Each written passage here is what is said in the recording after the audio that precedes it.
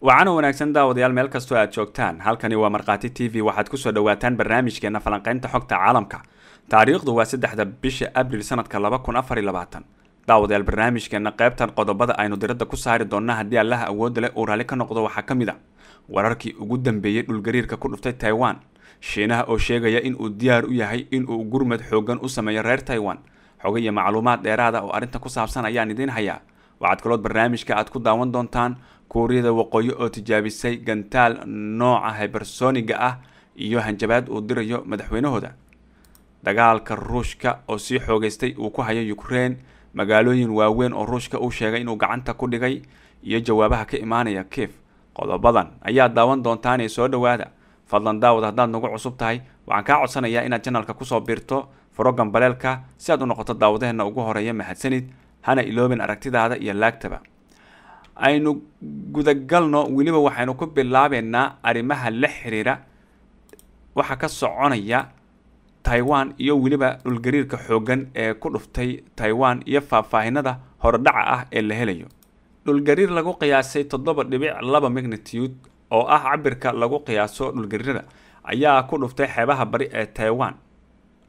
maanta gelinkii hore waxaana laga dareemay dhulgariirkan caasimada teb iyo weliba sidoo kale koonfurta jaban bariga shiinaha iyo philibiin ugu yaraan waxaa la xaqiijiyey in uu geystay khasaare isugu jirta dhimashiya dhaawac waxaana ilaa hadda soo baxaya warar hordhac ah oo sheegaya ama ka hadlaya khasaaraha nafeed ee ka dhashay dhulgariirkan waxaana hadda dowladdu ay shaacisay dhimashada in la xaqiijiyay sagaal qof hase ahaatee tirada intaasi ay ka badan karto maadaama baadigoob uu socdo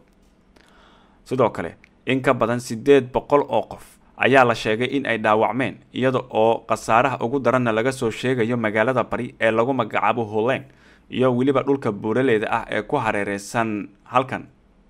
Dhulgariirkan ayaa ahaa kii ugu xooganaa ee ku dhaca taiwan muddo shan iyo labaatan sano ah. Maamulka taiwan jaban iyo philibiin ayaa soo saaray digniino la xiriira tsunami.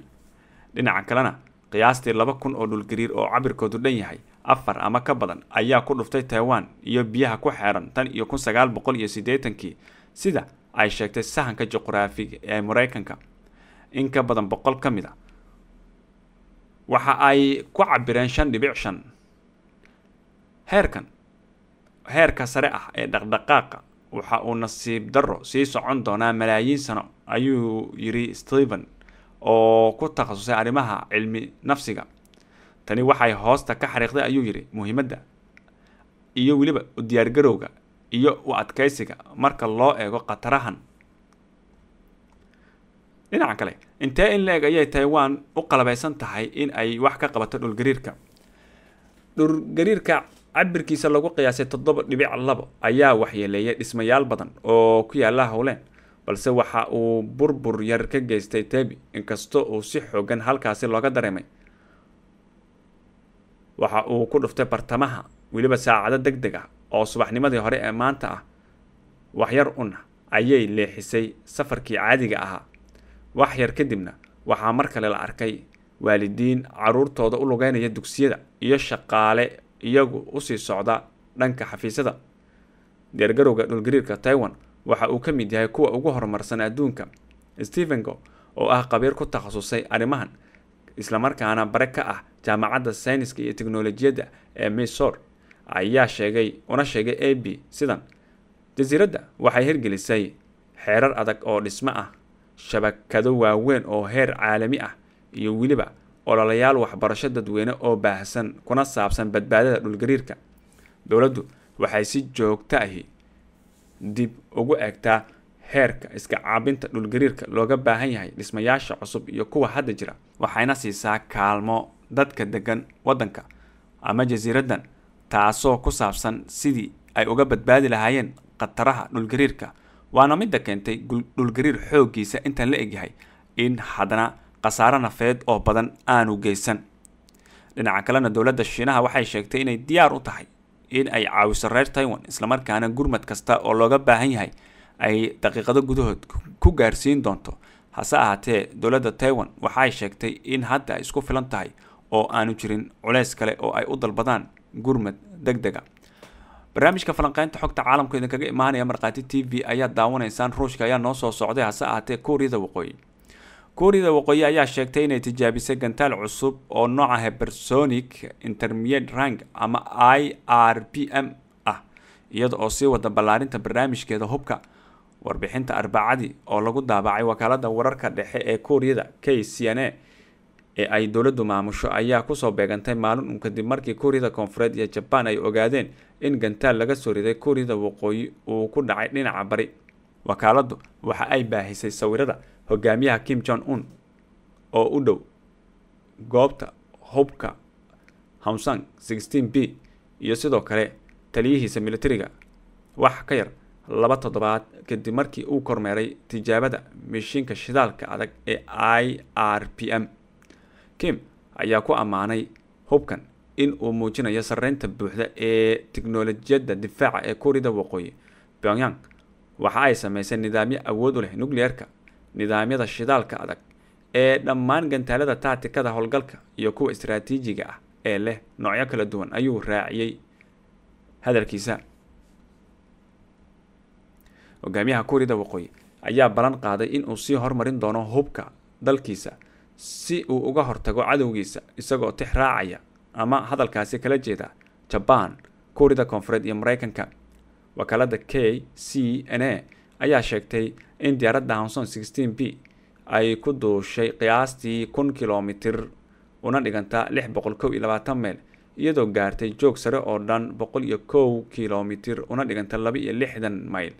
militariga seoul ayaa sheegay in ay hawada ku jirtay qiyaastii lix boqol oo kilomitir una dhiganta saddex boqol iyo toddobaatan mayl ka hor inta aysan ku dhicin badda u dhexeysa kuuriyada koonfureed iyo jabaan kuuriyada waqooyi waxa ay xoogga saartay in ay sameysato hub aada u casri ah oo shidaalka ku shaqeeya sababtoo ah way fududahay in la qariyo oo sidoo kalena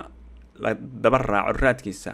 si deg deg ahna loo rido ugu dambeynna haddii aynu eegno waxaa sii xoogeysanaya dagaalka u dhexeeya ruushka iyo ukraine iyada oo dowladda ruushkana ay sheegayso in ay guulo waaweyn ka gaareen dagaalada soconaya. Haddaba waxaan rabaa inaan si kooban idinkugu muujiyo sida ay wax u soconayaane. Wasiirka difaaca ruushka ayaa sheegay in ciidamada ruushku ay qabsadeen dhul dhan afar boqol iyo saddex kilomitir.